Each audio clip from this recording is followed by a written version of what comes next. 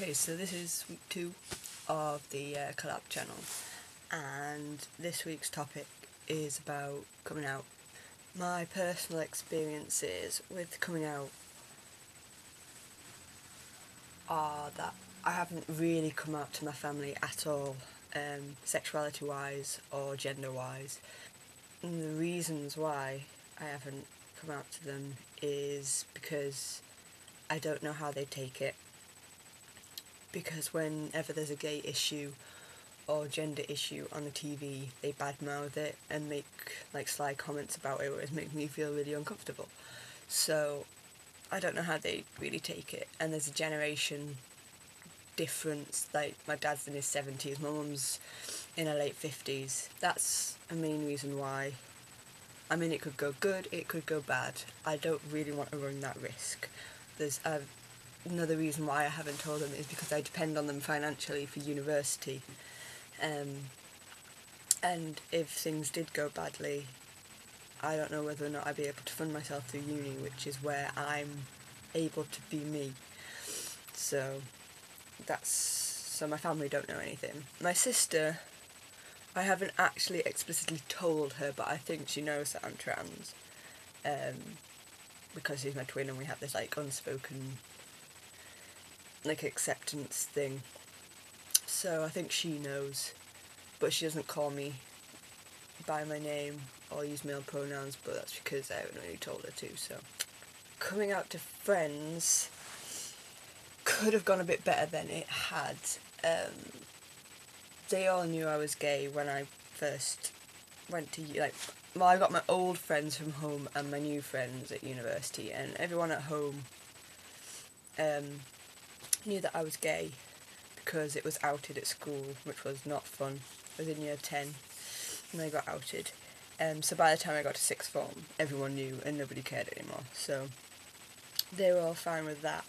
Um, and then when I came to uni, I still hadn't quite realised how I felt about the gender thing that hadn't really cropped up until like a year into uni. And um, they everyone like my sexuality were absolutely fine.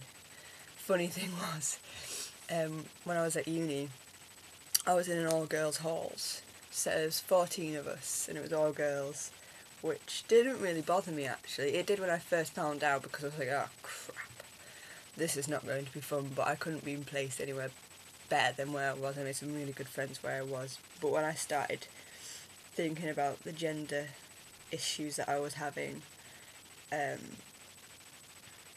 I went out and bought myself a binder uh, off T-Kingdom and I started binding and no one really noticed. A couple of people asked me what I had on underneath and just out of panic I said I'd fallen and hurt my ribs and it was a brace to help me uh, keep upright which they kind of bought. I'm quite good with coming out with really quick excuses for things. So um, when I actually officially came out to them, I did it through a letter that I wrote to them all on Facebook because I'm absolutely useless with face to face things. I just can't. I chicken out when I have to do it face to face. So I sent them all like quite a long letter explaining how I felt um, about um, explaining what it was, like the terminology and what I'd already learned about there being like a spectrum of gender and where I felt I uh, was on that spectrum. And then I told them about the pronoun changes and how it affected me when I was out in public with them.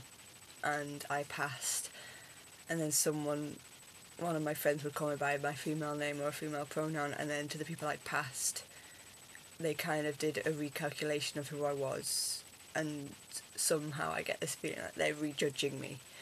Uh, they're probably not, but that's how I feel. I told them about that, and they were quite good with the name change and the pronouns change for a couple of weeks, and then they started slipping.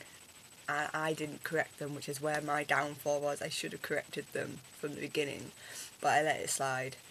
Uh, just calling me by my uh, female name and using female pronouns, which is quite annoying uh, especially now, where I'm passing a hell of a lot more, and new groups of friends that I make, I introduce myself as Chris, and male, and they're absolutely brilliant with it.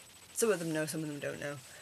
Um, most of the new people that I meet are really, really good with it, but when I bring them back here and people aren't using the right pronouns, not only does it confuse them, it makes me feel a bit like, oh god, here we go again. So I'm thinking about having face to face talks with each of them because I feel that's the only way it's going to get through to them. Maybe this coming year I'll have a word with them. So, fingers crossed for that. Um, university are absolutely amazing with it. Um, they call me the right stuff, they introduce me as the right things. They tried to change my name on the register, but for some reason it couldn't be done.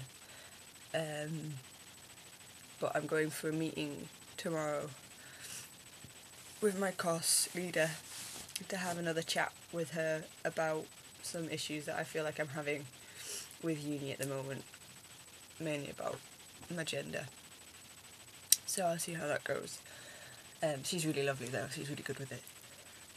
Um, and that's all I can think of.